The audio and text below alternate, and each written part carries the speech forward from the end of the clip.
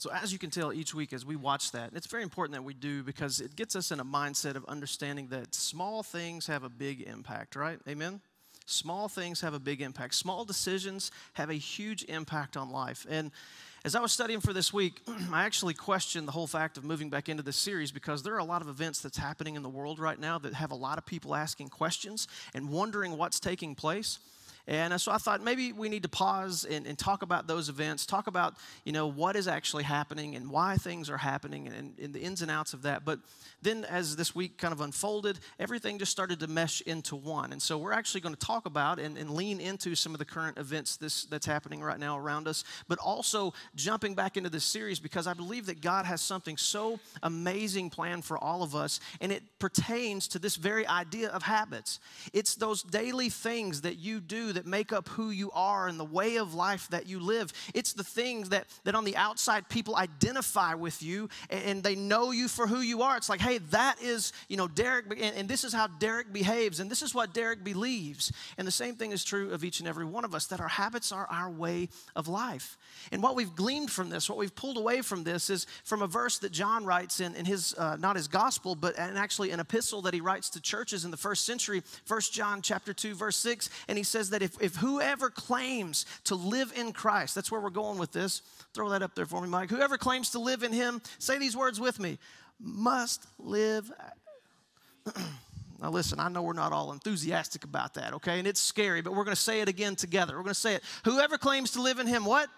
Must live as Jesus did. This is a huge statement. And if that's true, then learning about the habits of Christ and examining his life is so very important for us because, listen, I'm looking around the room and I see people who claim to be in Christ, who live in Christ, who claim that Christ lives in you through the power of his Holy Spirit. And there's a reason that that Spirit lives in you because that spirit is now your life that is within you. That's the life of Christ, not you anymore. But Paul says that we've died and we've gone on. We, we allow the spirit now to be our life. And that's a powerful statement.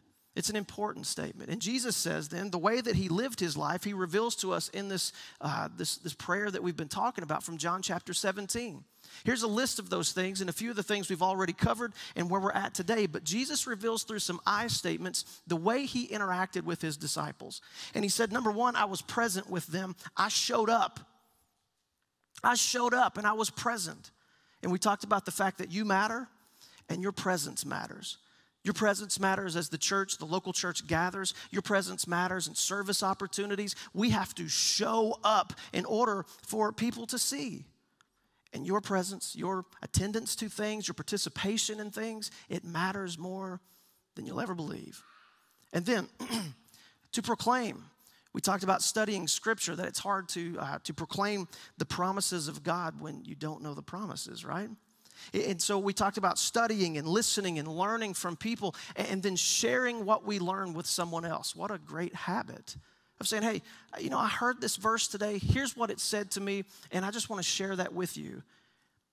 And then the third thing was prayer. And we said that through the habit of prayer, we connect with God. Through the habit of prayer, we hear and we receive from God.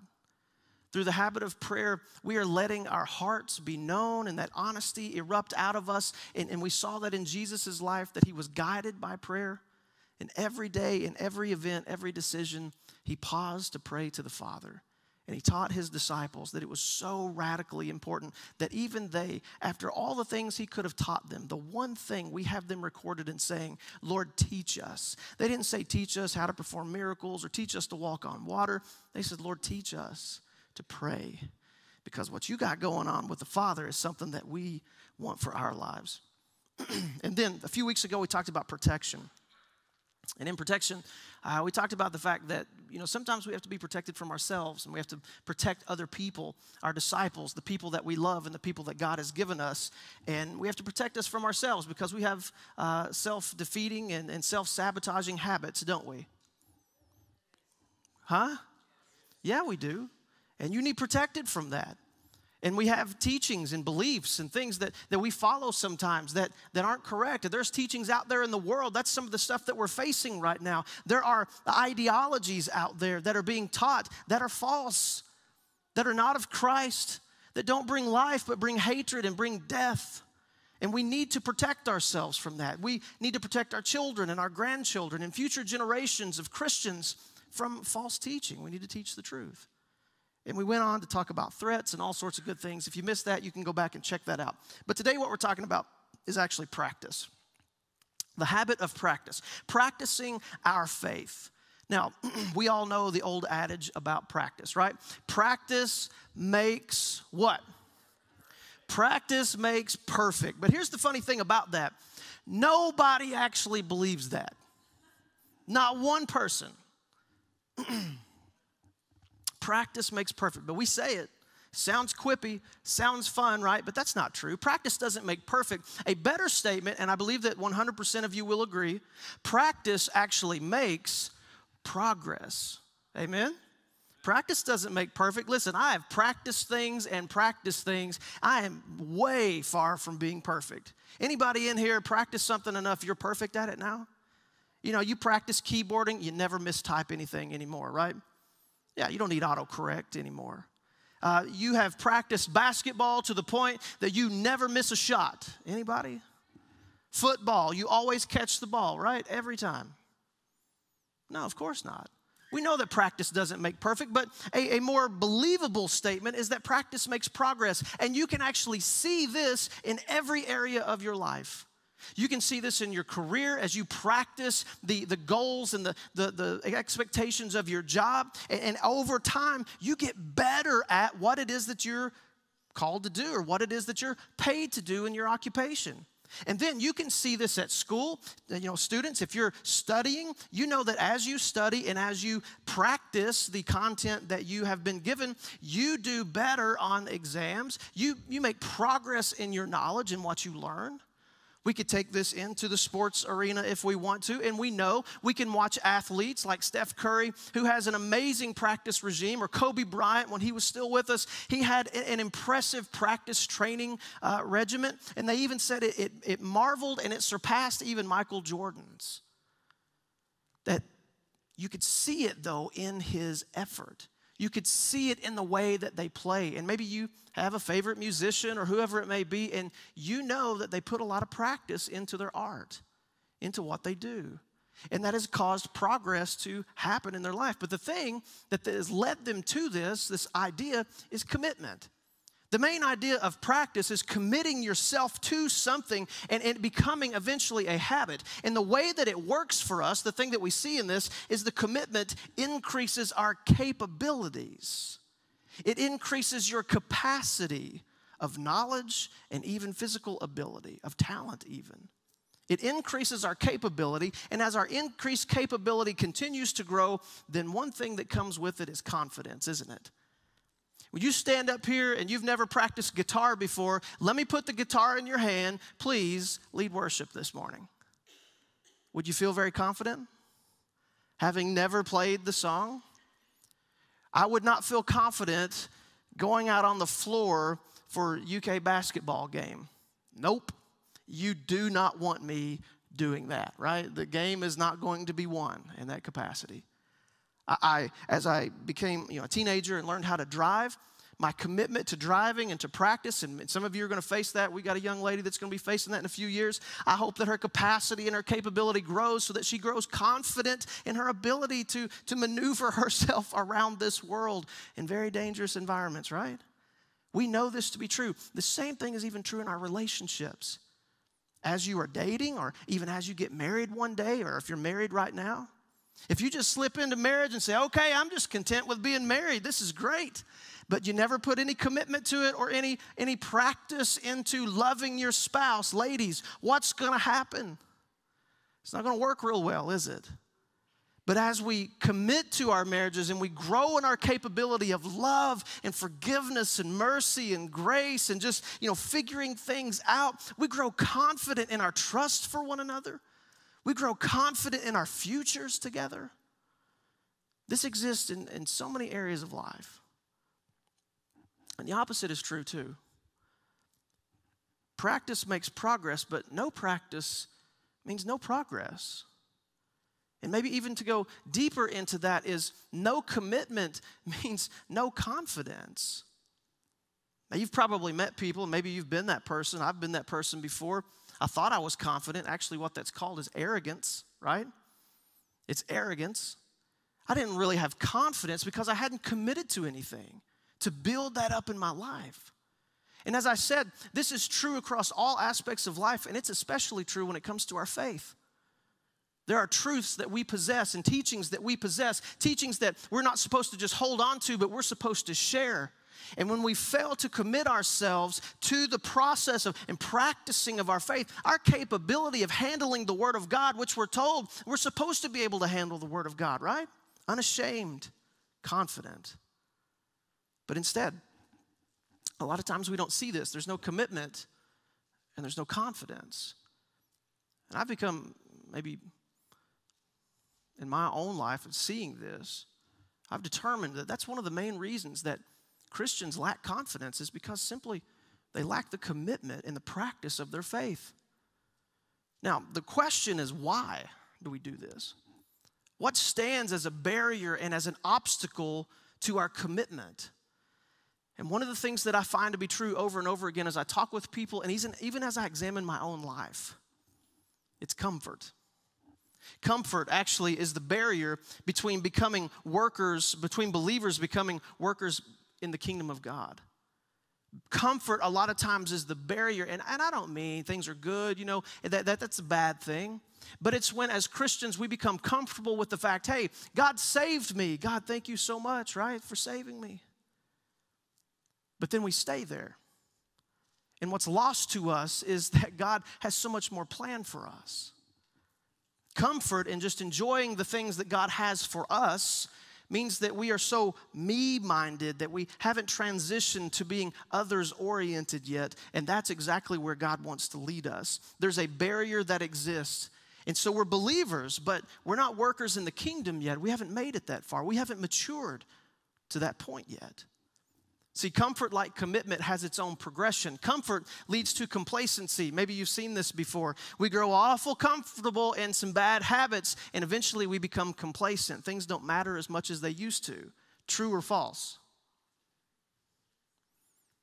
And complacency, oftentimes will lead to a collapse if left alone.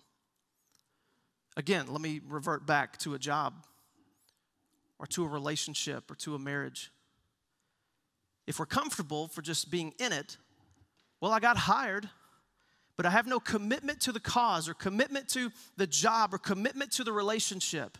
Eventually, I become complacent in that environment. And then eventually, complacency will lead to collapse. I'll lose my job, or the relationship may be broken. And then we suffer the strains and the pains of living in this state of perpetual comfort. Now, how does this play into our faith? Well, see, one of the things that we read throughout the New Testament is that God did, in fact, save us through Christ. But God not only saves, but I want you to say this word with me because I believe this word is so important in understanding who we are as Christians. So we're going to say these two sections, but when we get to the middle section of that little word with three letters, I want you to say it real loud. Okay, here we go. God saves us and sends us. God saves us and not and might. God saves us and well, He would like for you to go, to be sent.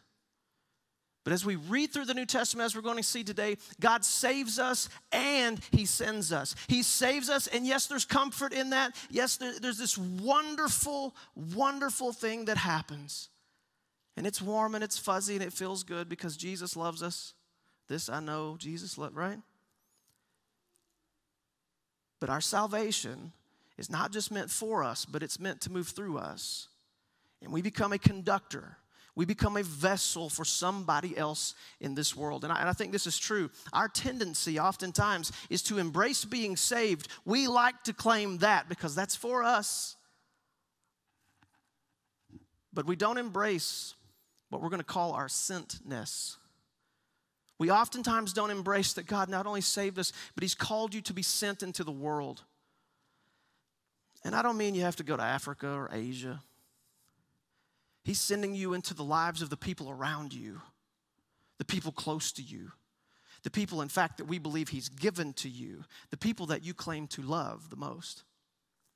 God is sending you to them. That's where we intersect with Jesus' habit here in his prayer today so let's take a look at it. John chapter 17, verse 18. Here's part of the prayer today we're looking at. This is what Jesus says He says, As you have sent me into the world. That's the first part. And remember, he's praying before he's go- going to be arrested in the garden, before he's going to the cross. This last prayer with his disciples, they're all gathered around, and he's revealing to them through this prayer what he's been doing for them. And he says, Father, as you have sent me into the world, there's a comparison.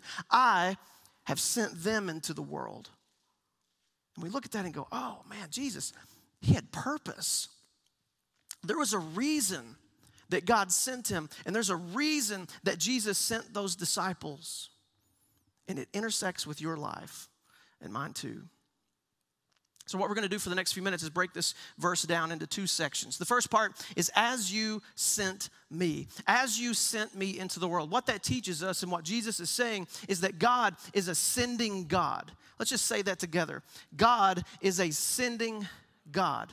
He's a sending God. From the very beginning, let's look at Genesis chapter 1. He creates human, mankind, right? And he says, I want you to be fruitful. I want you to multiply. I want you to fill the earth. I want you to increase in number and fill the earth and subdue it. I want you to go. And then we get to Genesis 11, and humanity says, Well, I don't think we want to do that anymore, right? Come, let us build ourselves a city with a tower that reaches to the heavens, so that there's a purpose in this, we may make a name for ourselves. You know, I think we know better than what God wants, right? They say otherwise, which means the opposite of this would be a negative. Otherwise, we will be scattered over the face of the whole earth. And God's like, yeah, that's the whole point. That's what I want you to do. I don't need you to make a name for yourself. I want you to go. Don't group together and just stay but I want you to go. And so, what does it tell us that God did? So, God scattered them from there all over the earth again. Go. Because God's a sending God. And then we look at the story of Abraham, right? Abraham, I'm calling you out of the city of your ancestors and I'm sending you to a new city. I'm sending you to the promised land.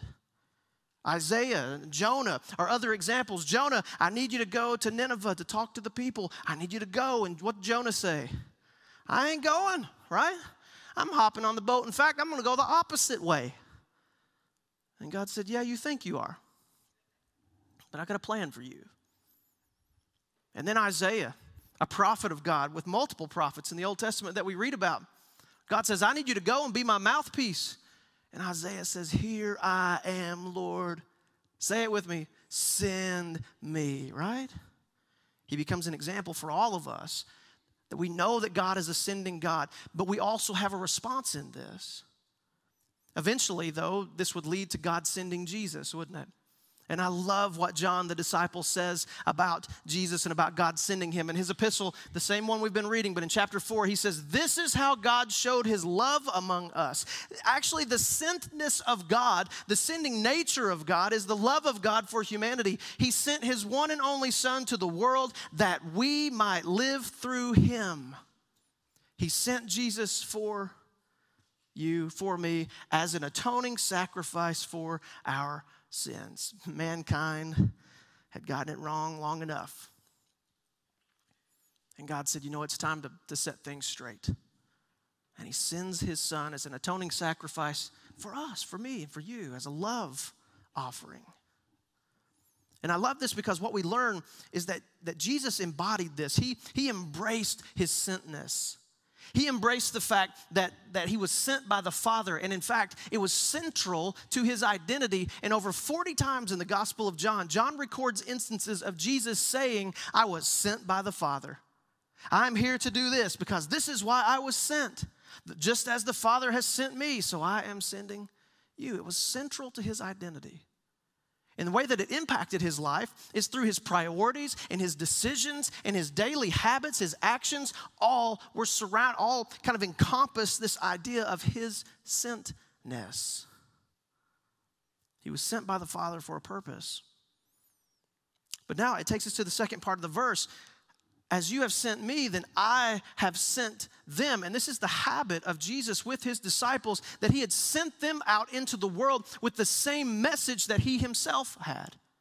When he came, he proclaimed the kingdom of God is near, and he told the disciples to do the same thing. I want you to go and proclaim the kingdom of God is at hand. In fact, what we learn is that Jesus is ascending Savior. God is ascending God, Jesus is ascending Savior. He embraced his sentness and his purpose. About himself, Jesus said this from Luke chapter 19. Luke records as Jesus is talking about this, he says, For the Son of Man came. This was such a big statement. Luke thought, hey, we need to write this down. Whoever he was interviewing and getting this information from, this is a big deal. For the Son of Man came to seek and save the lost. That's the reason. That was what was behind his sentness. That was the motivation.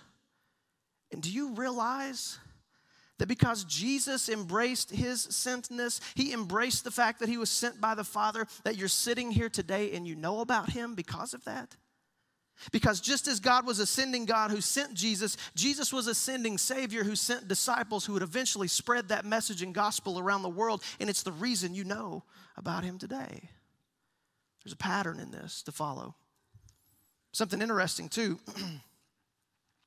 These 12 that Jesus would, would choose, specifically 12, he called them disciples. And disciples, of course, means to be students. But eventually, he would uh, anoint them, he would appoint them as apostles, and he would say, Okay, the time has come. You're no longer just a student, but I'm sharing with you things that are, are hidden things, things that, that part of the family, you know, gets to see. And I'm sending you out as leaders, and he called them apostles. And apostles, literally translated, say it with me, means sent ones. Now, there's this idea well, they were the 12 apostles, and nobody else is supposed to be sent because we can't do what they do. And that's not a correct teaching. That's not a correct way of looking at what Christ has planned for the church. And I'll show you through some verses here so that we can dispel that myth and you can understand that at the end of the day, you also are a sent one. You may not be a capital A apostle of the first century and lived with Jesus, but you know what? Jesus lives in you right now. And you have been called. Here in Luke chapter 6, records Jesus talking about students and teachers. He says the student is not above the teacher, and the student is not going to be different than the teacher. If it's a true student learning from the teacher, everyone who is fully trained will be like their teacher. Who's your teacher? Who's your master? Who are you learning from? Remember, whoever claims to live in him, to follow this teacher, must what? Be like him, live like him. But if our lives are reflecting something else, then we have to begin to wonder who our true teacher is and who we're allowing to guide us and mold us and shape us. Maybe your teacher's ESPN, Sports Center. Maybe your teacher's Fox News or CNN or whatever else. But the way that we live our lives, the way that we engage with people, Maybe it's the American dream. But when we read scripture and we see the words of Jesus, he says that a student of mine is going to become like me. And then there was a purpose behind it. In fact, in Mark chapter 3, we believe that Mark got his information from Peter. We, we see Jesus here in this, and he says he appointed the 12. This is Mark's kind of overshadowing of the situation. He appointed those 12 that he might be with them and that he might send them out. The reason Jesus gathered these 12 together is because it was the work that he had to accomplish while he was here on this earth. He had something that he needed to share that would be replicated and multiplied. And so he gathered these men with him with the purpose that he would eventually send them out. In 18 months into his relationship with these men, eventually Jesus gives them the call. See, it began with come and see. That's the first thing. Come and see. Come and check me out. Come and learn who I am. And then it transitioned to follow me. Let's go deeper in this. Follow me and learn from me. Be my student. And then 18 months in, Matthew records this scenario taking place. He says, Now come, follow me, which is a combination of those first two. Jesus said, And I will send you out to fish for people. that means there's a plan, that means there's a purpose. That means what you've learned from me, now I'm sending you to go do. And then eventually that would translate into the last thing Jesus would tell his disciples before he would ascend into heaven. He would say, Therefore, stay right here and make disciples of all nations. Right? Is that what he said?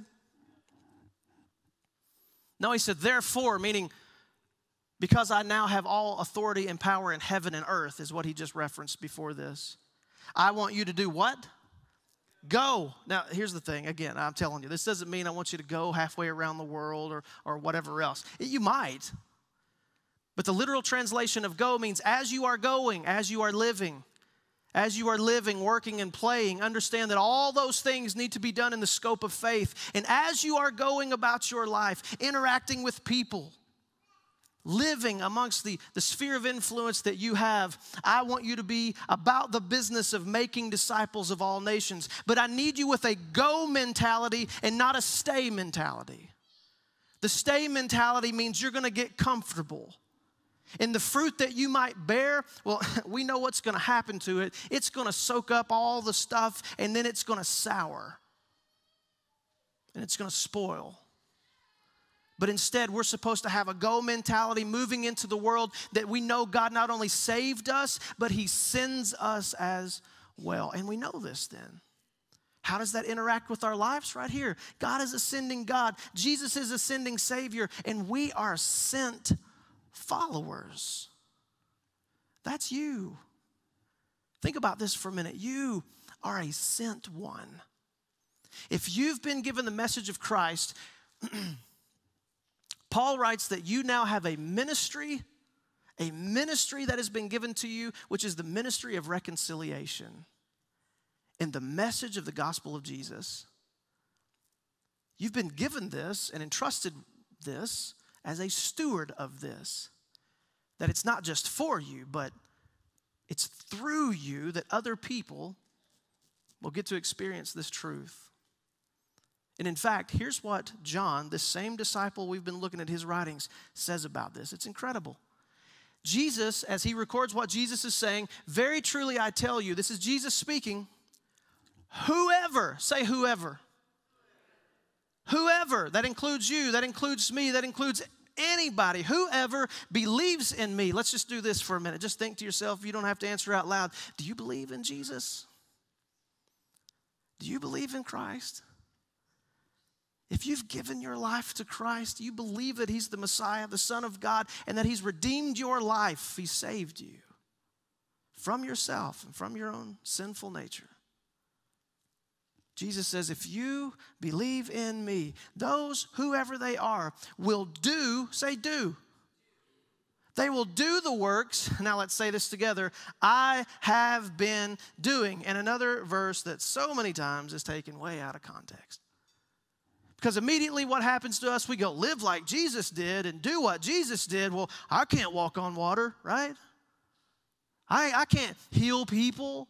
I haven't had that, that capacity. I haven't done that before. I can't, and we just fill in the blank of all the things that superhuman Jesus did, right?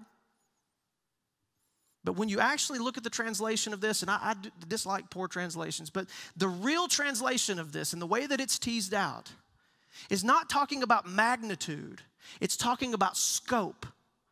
Greater things than me is not talking about, well, I walked on water, but you're going to hop, skip, and jump across the water, right? No, that's not what that means. It means scope. Greater things are going to be accomplished. And he gives the reason why because I'm going to be with the Father. I've only had you for about three to three and a half years. Some of you are going to have the Spirit living in you for 30 years.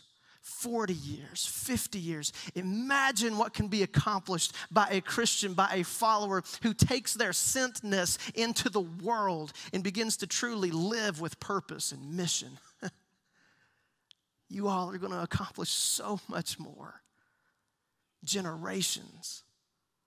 And that's why Jesus, he, it says that when he sent out the 72, shortly before he went to Jerusalem to, to die.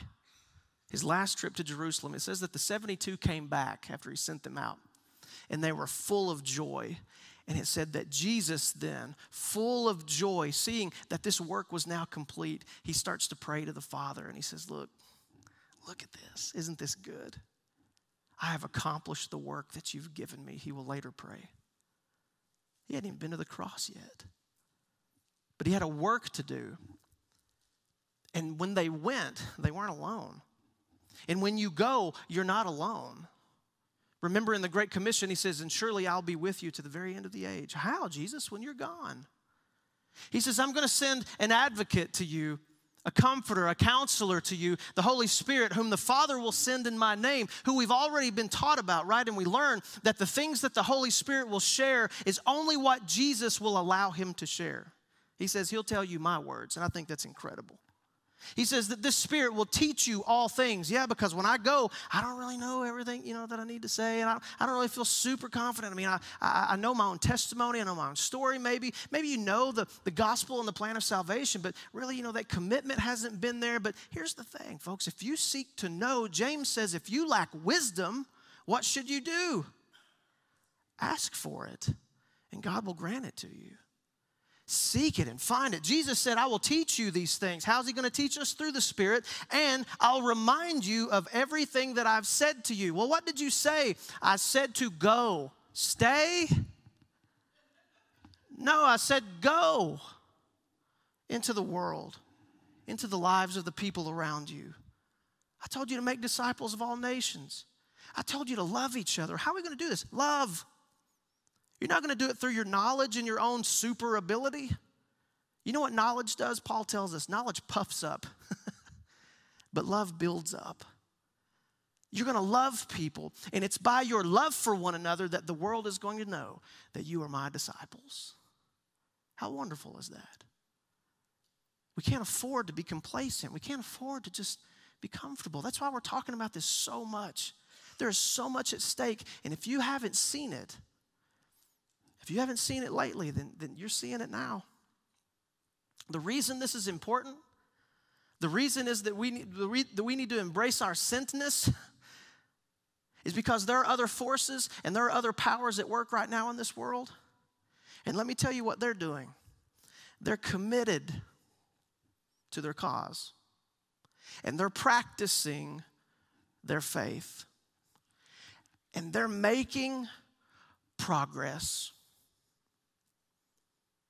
And I truly believe that in the end, Jesus will bring ultimate victory to all things. Don't you agree? And no matter how scary things get, and no matter how much evil, and no matter how much the hatred and all the war around us, no matter how much it escalates, Jesus will have victory in the end. But let me say something to you that you need to understand. Until then, we have a problem. And there's a huge problem because the enemy is gaining ground. And when Jesus talked about ground, he wasn't just talking about the surface of the earth, he was talking about the hearts of mankind. And the enemy is practicing their faith and their ideologies, and they're making progress. And when we talk about making progress, that's hearts and minds that are kept away from the truth of Christ. And we can't afford that. We can't afford to get so wrapped up in what's going on that we lose sight that right now there's a mission that has to be fulfilled. And you've been given that mission, and it's right around you. We think that it's in the distance and it's just maybe in the Middle East. Folks, it's all in our nation. It's right around you in every town and every city. It's in your home because that's where the enemy begins with you. If you have children and you have grandchildren, Practicing your faith and living a sent life, even in your house, is so important because you're the first line of defense. Jesus told his disciples, and I believe this to be true the harvest is plentiful, but the workers are few. The problem is not the hearts and minds of people. Because Jesus has already told you, and he's told me, it's not about how you present it, how well you present it, how much you know. But he knew one thing if you didn't commit yourself to the cause, you wouldn't have confidence to go. So you got to commit. And you got to increase in your capability and your maturity. And then you go in confidence and share the gospel in the face of danger. in the face of persecution, in the face of people possibly saying no or making fun. But that's not your responsibility. Your responsibility isn't to coerce them or convince them that it's true. You just are supposed to state the truth. The harvest is plentiful. This world is primed and hearts are primed, but the workers, this is the problem. The workers are few. And where are the workers? They're the comfortable ones sitting in the pew. That rhymed. I didn't mean for it to, but that's pretty cool. It's when we get so comfortable that we decide, yeah, I like being saved, but I don't know about the sent thing. I mean, I want to commit my life to Christ, but I don't know if I'm really going to follow, right? I mean, that's, do I have to do that? I mean, I'm not the capital A apostle, you know, so maybe that's not for me. Whoever believes in me will do the things that I've done and that I'm doing. So here's where the, the challenge comes in. The next thing Jesus says is a bomb because with his disciples, he says the worker, uh, the harvest is plentiful, but the workers are few. And I'm sure the disciples are thinking, well, what are we supposed to do, right? And he says, so ask the God of the harvest to send workers into the harvest field. So ask the God of the harvest to send out workers into the harvest field. And here's my challenge for you Would you be so bold as to make that your prayer? Would you be so bold as instead of flipping on the news and getting so wrapped up in it and just, you know, downcast, man? I mean, I found myself watching and, and, watching as everything unfolded, and that's fine. Be informed. But I found it starting to, to mess with me a little bit. It started to, to affect my, my mentality, it started to affect my life, and I thought, that's not our focus. I mean, this is going to escalate because humanity escalates, or it's going to be pushed back again for future generations. But we know that it's just going to stay tense because the only person that brings peace is who? So, what should I be doing? Number one, Father, I need to be praying for these people. Pray for people, both Jew, Palestinian, Christian, and I even hate to say it, gritting my teeth, terrorist alike. But that's the truth. Because the message of Jesus is for all people, for every heart. And no matter how bad the heart has been, you understand that the Apostle Paul was a terrorizer to the people of Christ. You understand that?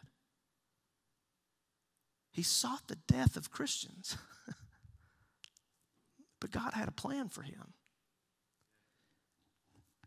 Lord forbid our hearts become so hardened that we don't pray for the people around this world who are suffering because of their faith.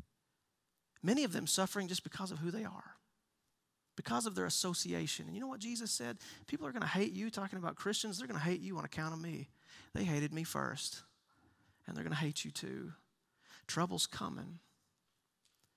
And the, and the problem that I see in this is that we say that we have no hope, we have no promise for tomorrow. You know, tomorrow's not promised, but you know what? That's a false statement too. It's kind of like practice makes perfect. That's a false statement.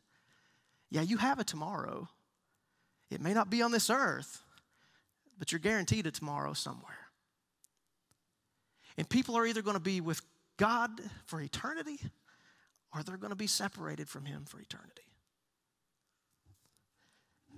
This is us right here. This is our response. Ask the God of the harvest to send workers into the field. And here's what I pray happens. I pray you begin to pray that. I pray that you get committed to this and you begin to pray and you're practicing your faith. God, you are true and faithful. Let's, let's do it.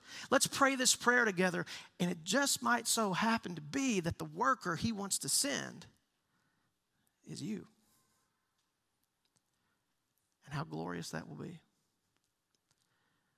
But what if a church decides that they're going to embrace this idea that God not only saves us, and, right? He sends us. And you and I have a heavenly Father who is a sending God. And we have a Savior who is a sending Savior. And we have to embrace and begin to practice the truth that we are sent followers into this world. If you find yourself in comfort and complacency, and you find yourself perhaps with your faith eroding around you, or you don't know where to turn or what to do, hey, listen, we have plans for you. God has a plan for you, and we want to work together to accomplish His mission and His will in your life and in this community and in this church. And so I pray that you'll begin praying this together. I pray that you'll take this seriously and begin, like Jesus, to practice being sent into this world. Let's pray. Father, we love you and we thank you for your truth, no matter how difficult it is at times to hear. We thank you for the truth of the gospel that, Father, you loved us beyond us. And that when it comes to sin, it's black and white. There, there's, there's no gray area. We're either innocent or we are guilty. And all of us, without your Son, are guilty and deserving of the highest punishment of death. Because you are a holy God. But out of your mercy and out of your grace and forgiveness, you, Father, you've led us to this place. You've led us to mercy. You've led us to salvation. But we dare not stay there. Father, give us the wisdom that we need to know the good we ought to do and to know the word that we are to share with this world. And give us the humility to, to surrender ourselves to your kingdom and your purpose and not our own. And Father, would you give us the strength and courage, empowered by your Holy Spirit, teach us and remind us everything that you've said. Give us this purpose and give us this passion today. That may we practice our faith and may we love those around us. May we give our lives to your cause and be committed. And Father, I pray that the progress we see is the day that we enter into heaven surrounded by clouds of witnesses who are celebrating each and every person for the investment that they made in their lives. And then we get to see heaven filled with the least of these and with the worst of these and with the best of these because it was all for your glory and it was for your kingdom. God, we love you and we thank you. We thank you for this morning. We thank you that we've had the opportunity to be here. Now, Father, I pray that through everything we've experienced, that you now will send us into this world to accomplish your will. Help us practice our faith, and we pray that in the matchless name of Jesus, our Savior. And everybody said, Amen. Amen. God bless you. Thanks for being here.